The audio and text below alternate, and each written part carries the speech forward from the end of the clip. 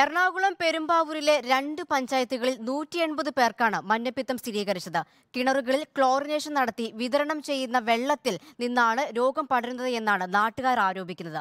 പ്രാദേശിക സാമൂഹ്യ ദുരന്തമായി പ്രഖ്യാപിച്ച് ചികിത്സാ സഹായം അനുവദിക്കണമെന്ന് എൽദോസ് കുന്നപ്പള്ളി എം ആവശ്യപ്പെട്ടു.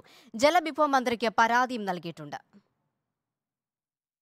രണ്ടാഴ്ച മുമ്പാണ് പെരുമ്പാവൂരിലെ വേങ്ങൂർ മുടക്കുഴ പഞ്ചായത്തുകളിൽ മഞ്ഞപ്പിത്തം റിപ്പോർട്ട് ചെയ്തത്. വളരെ പെട്ടെന്ന് രണ്ട് പഞ്ചായത്തുകളിലും രോഗം വ്യാപിച്ചു. മുന്നൂറോളം പേർക്ക് രോഗബാധയുണ്ടായി. ഇപ്പോൾ നൂറ്റി എൺപത് പേരാണ് ചികിത്സയിൽ. ഇവരിൽ ഗുരുതരാവസ്ഥയിലുള്ളവരുമുണ്ട്.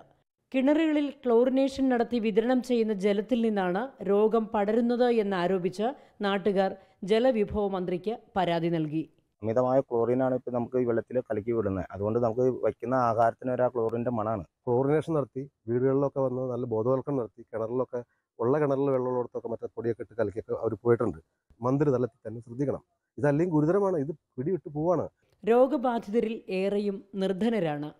ഭാരിച്ച ചികിത്സാ ചെലവ് താങ്ങാനാവാതെ ബുദ്ധിമുട്ടുന്നു. പ്രാദേശിക സാമൂഹിക ദുരന്തമായി കണ്ട് ചികിത്സാ സഹായം നൽകണമെന്നാവശ്യപ്പെട്ട് എൽദോസ് കുന്നപ്പള്ളി എം മുഖ്യമന്ത്രിക്ക് കത്തെഴുതിയിട്ടുണ്ട്. റിപ്പോർട്ടർ കൊച്ചി.